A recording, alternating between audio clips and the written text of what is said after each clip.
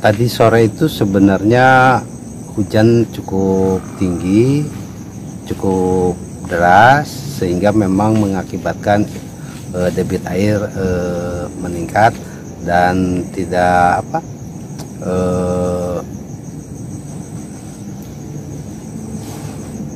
meluap ke permukaan sungai sehingga memang ke pemukiman. Oh artinya eh, banjir tersebut disebabkan eh, meluapnya aliran sungai Pak ya? Betul.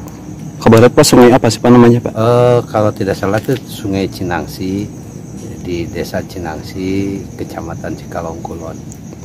Nah Pak eh, dampak dari meluapnya sungai Cinangsi sendiri itu berapa banyak rumah sih Pak yang sempat terendam Pak?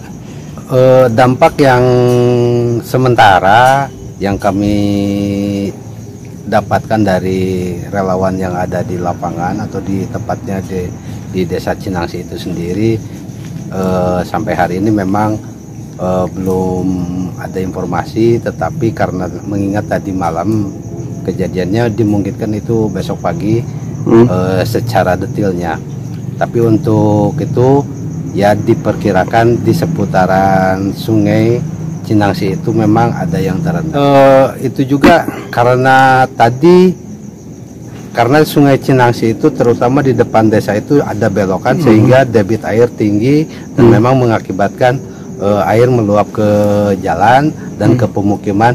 Dan mungkin saja ada yang eh, sampai satu lutut gitu. Hmm.